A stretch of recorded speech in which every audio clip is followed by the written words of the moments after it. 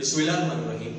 موجودہ دنوں، کچھ دنوں میں سوشل میڈیا پہ جو سب سے زیادہ ڈسکشن ہو رہی ہے الیکٹرانک میڈیا پہ جو سب سے زیادہ بات ہو رہی ہے، وہ میرا جسم، میرا میری مرضی۔ ایک سلوگن ہے جو عورت آزادی مارچ کے حوالے سے رائز کیا جا رہا ہے۔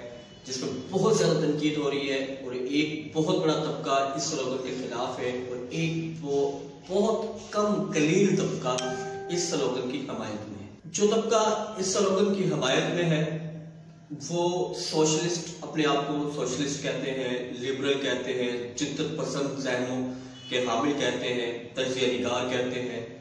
اپنے آپ کو وہ اکیسویں صدی کے ضروریات کے مطابق اپنی سوچ کو ڈھالنے والا ہے۔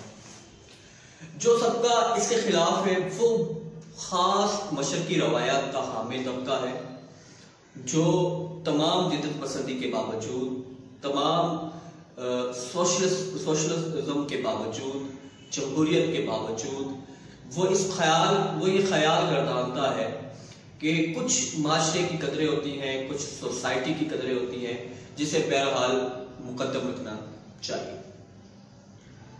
سب سے پہلے سلوگنس بنتے کیوں سلوگنس ہمیشہ کسی برانڈ کے کو ریپرزینٹ کر رہے ہیں۔ فرسٹلی یا کسی سوشل ایکٹیویٹی کو ایک جملہ، ایک لفظ، ایک نعرہ دے دیا جاتا ہے۔ اس نعرے کے اندر وہ پوری سوشل ایکٹیویٹی آ جاتی ہے۔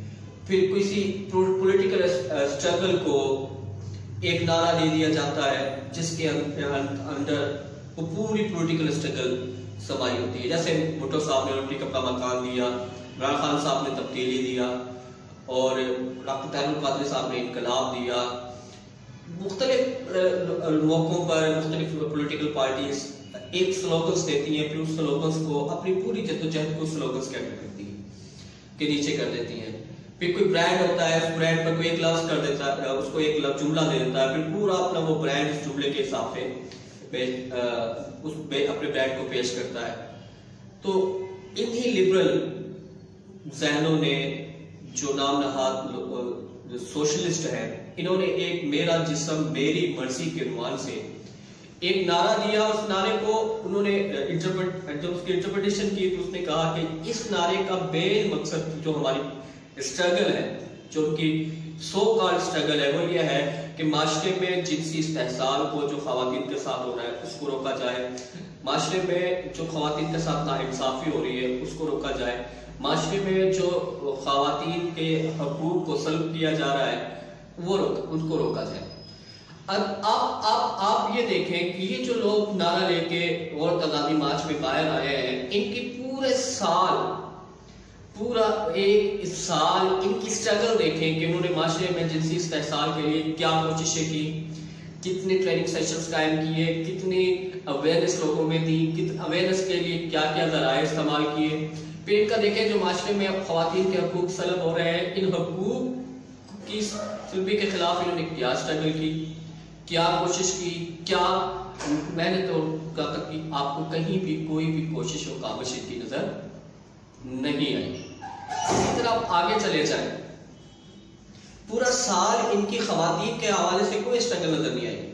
لیکن جیسے ہی ورلڈ ویمن ڈے آتا ہے، یہ کچھ بےحدہ لو جملوں پر اٹھائے پلے کارڈ معاشرے میں، سوسائٹی میں آ کر اس کو عورتوں کے حقوق کی بات اس کو عورتوں کے حقوق کا نام دے کر میرا جسم میری مرضی کے عنوان سے معاشرے میں لے آتے ہیں۔ بہت سے نعرے اور اس کی انٹرپریٹیشن بہت خوبصورت ہوتی ہے لیکن اس خوبصورت نعروں اور انٹرپریٹیشن کے نیچے ان کے مقاصد انتہائی گھٹیا اور غلیظ ہوتے ہیں۔ میرا جسم میرا مرضی کا نعرہ بہت اچھا ہوگا۔ میرا جسم میری مرضی کی انٹرپریٹیشن بہت اچھی ہوتی ہے۔ لیکن آپ اس کے نیچے بھی تو دیکھیں نا کہ اس کے نیچے جو ان کے عورت آزادی مارچ کی لے لے، جو پلے کارڈز اٹھائے ہوئے ہوتے ہیں، جو نعرے لگائے جاتے ہیں، جو جس طرح کے لوگ اور جس طرح کے سوسائٹی کے لوگ افراد اس میں جس طرح کی حرکتیں کرتی ہیں، وہ کبھی بھی کسی بھی ایک مہذب اور مشرقی روایات اور مذہبی روایات کے حامل معاشرے میں ایک زہر سے کم نہیں۔